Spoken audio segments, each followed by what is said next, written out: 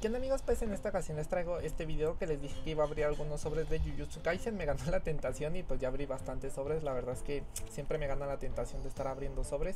Por eso es que, por eso mismo los compré de hecho. Pero bueno, eh, este video lo quiero utilizar para dos cosas bastante sencillas Uno para enseñar las cartas obviamente de Jujutsu Kaisen Pero mientras las abrimos obviamente Supongo que voy a abrir más sobres, no creo que abra estos cinco Porque chance alarga el video pero no importa Pero bueno, vamos a comenzar y les quiero comentar que hay mucha gente que me pregunta, no sé, mi edad, en qué trabajo, en todo eso. Y bueno, voy a empezar con el de que más me preguntan, el de las uñas, amigo. En serio que estamos en 2024, que me pinto no las uñas, eso no va a definir que sea de otra sexualidad, porque mucha gente piensa que porque te pintas las uñas ya automáticamente eres gay, y eso no tiene nada que ver, o sea, solo es un gusto, ¿saben? Y pues quitando ese punto, uy, perdón, estaba muy duro. Quitando ese punto voy a seguir con una de las siguientes preguntas que es empanada ¿cuántos años tienes? La verdad es que no me gusta mucho decir mi edad más que nada porque eh, no sé es, un, es una cosa que me gusta guardarme para mí pero pues al final de cuentas eh, estoy haciendo este video y no les voy a decir tampoco mi edad tengo más de 20 años eso sí quiero que lo sepan tengo más de 20 años y esto va a derivar en otra cosa empanada si tienes más de 20 años entonces ¿a qué te dedicas? ¿en qué chambeas? pues bueno actualmente les puedo decir que trabajo totalmente de la creación de contenido pero no ha sido sencillo amigos porque yo antes de esto de crear contenido, obviamente yo tenía un trabajo eh, del cual ya me salí, obviamente, porque ya estoy viviendo de esto más tranquilo. Y me van a preguntar de qué chambea. Ay, esta de no está full perra, esta de no está muy bonita. Me gusta cómo brillan. Pues bueno, tampoco les voy a decir de qué trabajaba antes, no porque me avergüence ni nada de eso, pero pues era un trabajo en casa, era más, era más o menos como ser costurero, algo así, porque mi mamá siempre ha sido costurera y pues bueno, era más o menos el trabajo de por ahí. Pero eh, yo me llevaba unas, eh, no quiero decir la palabra, pero sí me llevaba unas putizas porque trabajaba de 8 de la mañana aproximadamente, trabajaba de 8 de la mañana hasta aproximadamente 12 de la noche. Había, había veces en las que me desvelaba hasta 1 2 de la mañana trabajando, pero esto era porque tenía mi trabajo tenía mi trabajo y tenía mi pasatiempo que era esto, creación de contenido. Esta novara me gustó un montón. Tenía mi pasatiempo que era creación de contenido y pues mi trabajo, trabajo que era el que me daba de comer. Y en serio que pues muchas veces no dormía por estar creando contenido, por estar trabajando. Y pues sí, actualmente trabajo de solo creación de contenido. Y espero que esto siga así durante pues varios años, ¿no? Para poder vivir, seguir viviendo tranquilo, que es esto de lo que me gusta.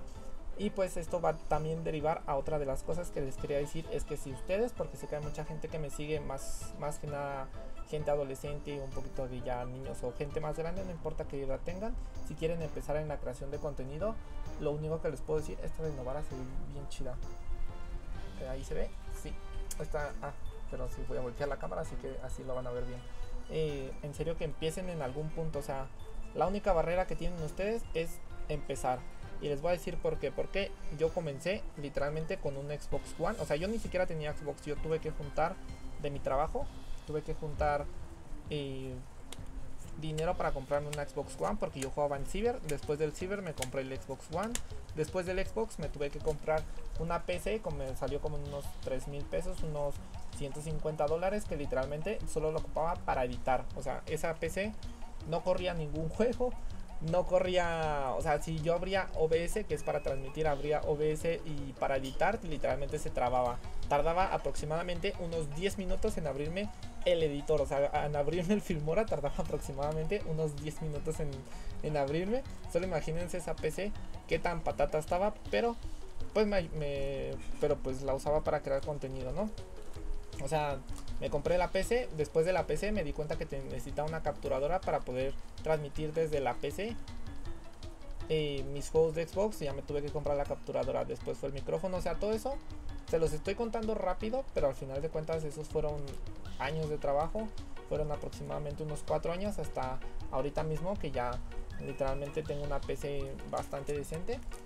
Y les puedo decir que todo el trabajo duro que ustedes hagan va a valer la pena en algún punto, solo si, si trabajan por ello, no, o sea, no se, no se rindan y, y al final de cuentas, si están solos en un trabajo, por ejemplo, que sus amigos no los apoyen, o algo así, eh, y, pero ese trabajo les gusta, en serio que sigan trabajando en eso, que en algún punto va a rendir algún tipo de fruto. Ese es el único consejo que les puedo dar.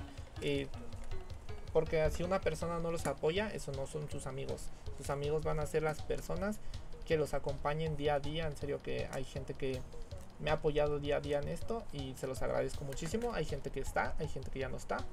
Y tristemente, pero pues al final de cuentas se agradece siempre el apoyo que he tenido, ¿no? De parte de mis amigos, que puedo llamar amigos.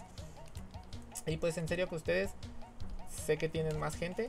Sé que va a haber gente que me diga que no tiene tantos amigos, pero pues en general yo tampoco tenía tantos amigos hasta que empecé a crear este tipo de contenido fue que empezó a llegar gente que no, no creo que sea interesada porque al final de cuentas todo el dinero que he ganado lo he reinvertido literalmente. O sea, sí he comprado algunos gustos como esto, pero pues esto es más que nada eh, ya ahorita que tengo la posibilidad, porque antes cualquier dinero que tuviera o me compraba un control o me compraba un teclado teclados genéricos, eh, mouse genéricos, me compraba la cámara con la que están viendo, me compraba el monitor, me compraba la Xbox Series, en serio que todo, todo el dinero que he ganado actualmente lo he reinvertido siempre para mejorar mi contenido y en serio para